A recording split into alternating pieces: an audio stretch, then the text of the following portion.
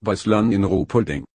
Beim Heimweltcup in Ruhpolding hat Laura Dahlmeier vor allem am Schießstand ein starkes Rennen gezeigt. Läuferisch hat die Olympiasiegerin nach ihrer langen Pause noch Luft nach oben. Die zweimalige Weißlern-Olympiasiegerin Laura Dahlmeier ist in ihrem ersten Weltcuprennen in diesem Jahr in Ruhpolding als beste Deutsche auf Platz 9 gelaufen. Beim Heimspiel in Bayern blieb die 25-Jährige ohne Schießfehler und landete im Sprint über 7,5 Kilometer 47,7 Sekunden hinter der Siegerin Anastasia Kuzmina aus der Slowakei. Platz 2 belegte Lisa Fetuzzi aus Italien vor Hanna Öbeck aus Schweden. Die stärksten Frauen blieben am Schießstand allesamt fehlerfrei. Nachdem Dahlmeier wegen einer Grippe über Weihnachten noch den Weltcup in der Vorwoche in Oberhof ausließ, zeigte sie in den Chiemgauer Alpen am Schießstand eine starke Vorstellung.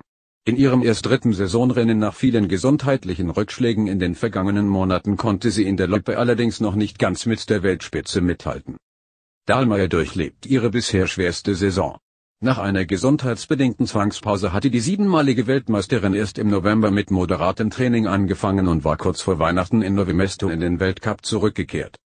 Mit Platz 2 im Sprint und Rang 5 in der Verfolgung hatte sie sich in Tschechien eindrucksvoll zurückgemeldet. Danach kam mit dem Oberhof-Ausfall der nächste kleine Rückschlag.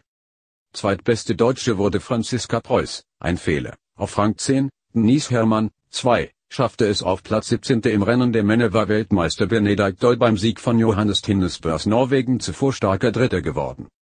Liebe Leserinnen und Leser. Leider können wir Ihnen nicht zu allen Artikeln einen Kommentarbereich zur Verfügung stellen. Mehr dazu erfahren Sie in der Stellungnahme der Chefredaktion. Eine Übersicht der aktuellen Leserdebatten finden Sie hier. Gerne können Sie auch auf Facebook und Twitter zu unseren Artikeln diskutieren.